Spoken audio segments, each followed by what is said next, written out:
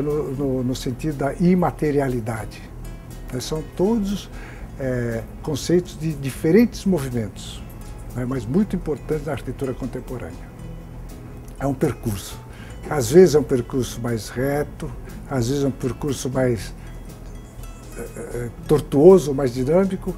Né? Agora, sempre que possível, deve ser um percurso mais prazeroso, enfrentando os desafios que a gente tem. E, e, e esse, essa condição de estar sempre em movimento, eu acho que é importante na arquitetura. E esse, esse movimento faz com que uh, a gente fique também sempre atento ao que se faz no resto do mundo.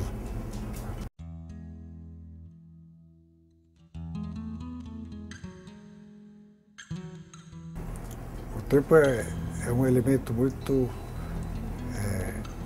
instigante, muito importante, porque no meu caso, é quando no desenho a arquitetura fica um pouquinho abstrata. O tempo me deixa o projeto abstrato quando eu estou concebendo.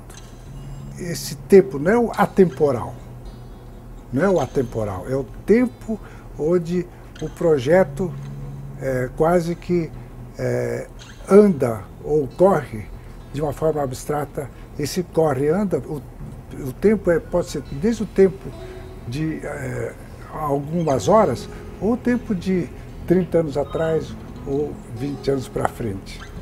O futuro eu acho que é uma coisa, para mim, a, provavelmente a, o motivo mais instigante, mais desafiador.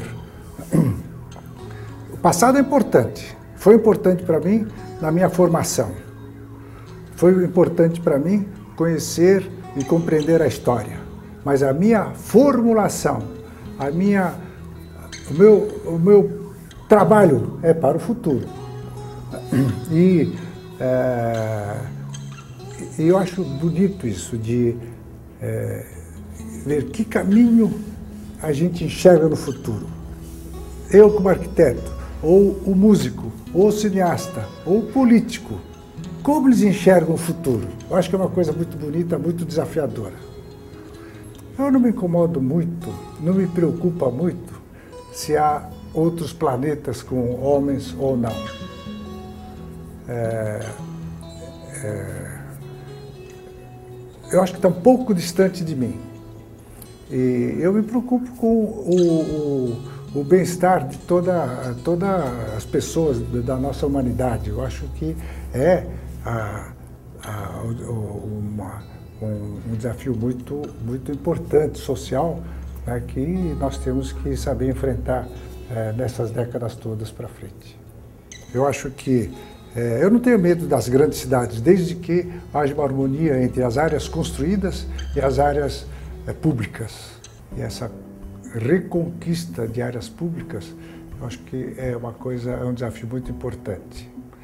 É, e a própria, isso faz parte da própria relação entre a cidade, a paisagem e a natureza. O ideal é pela uma arquitetura que seja bonita, uma arquitetura que represente a minha época e que seja é, que seja possível de ser aproveitada por todos, ou seja, para uma sociedade mais justa. É, esse é o grande ideal que eu tenho.